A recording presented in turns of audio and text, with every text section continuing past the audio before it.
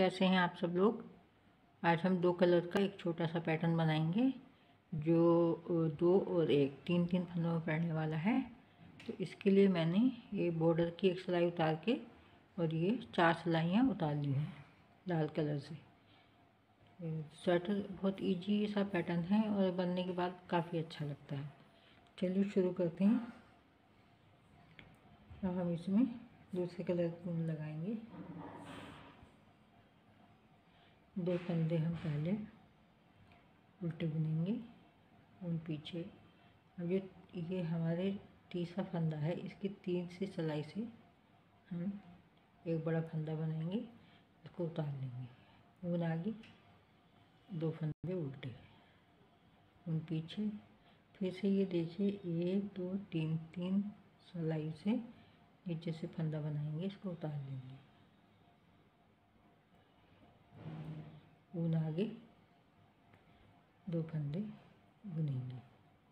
अब फिर से एक, दो, तीन तीन फंदे नीचे से ही निकालेंगे लूप। दो फंदे बुनेंगे, उल्टे। बैक सिलाई से, बैक सिलाई से हम पहले दो फंदे उल्टे बुनेंगे।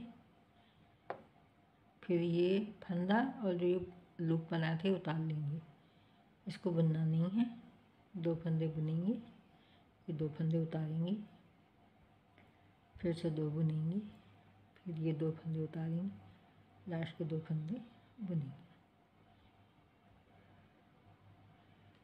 बहुत ही ईजी पैटर्न है। जो बनाने के बाद ना बहुत सुंदर लगता है। और हम रेड कलर से बुनेंगे। पहले दो फंदे बुनेंगे। अब इस फंदे को हम सीधा करेंगे इस तरह से और फिर हम यहाँ से पीछे सिलाई डालकर इसको बुनेंगे। दो फंदे बुनेंगे, फिर इसको सीधा करेंगे, दो का एक कर देंगे। फिर से दो फंदे बुनेंगे, फिर इस फंदे को सीधा करेंगे, इस फंदे के साथ, लाल फंदे के साथ बंद करेंगे। फिर से हम अब उल्टी सिलाई, पूरी उल्टी उल्टी उतरेगी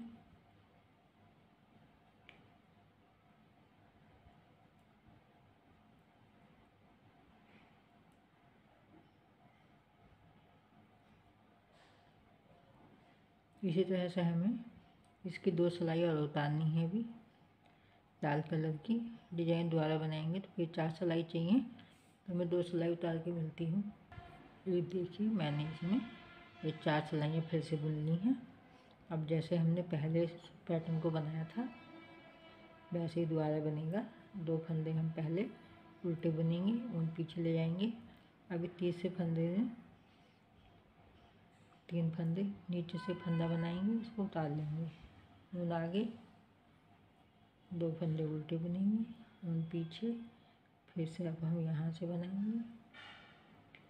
फंदा उतारेंगे, दो फंदे फिर से उल्टे बुनेंगे। और फिर से अब हम यहाँ से एक लूप बनाएँगे, चार सिलाइयाँ उतारेंगे लाल कलर से। तो ये हमें तीसरे फंदे में से लूप निकालना है। ये देखिए, इस तरह से बना। अब उल्टी तरफ़ से पहले दो फंदे बुनेंगे, फिर दो फंदों को उतारेंगे। दो बुनेंगे, दो उतारेंगे, फिर से दो बुनेंगे, दो फंदों को उतारेंगे और फिर दो बुनेंगे।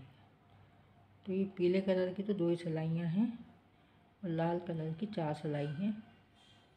फिर से लाल कलर लगाएँगे, दो फंदे पहले बुनेंगे, इस फंदे को सीधा करेंगे ऐसे और इस फंदे के साथ इसको बंद कर देंगे।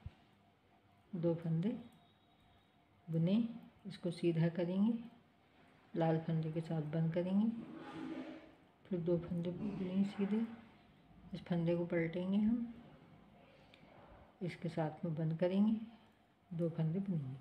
अब हम जब इसे दोबारा बनाएँगे तो एक उल्टी, एक सीधी, एक उल्टी, तीन सिलाई उतरेंगे, तभी दोबारा बनेगा। तो ये पैटर्न था मेरा छोटा सा, कितना अच्छा लग रहा है बनने के बाद।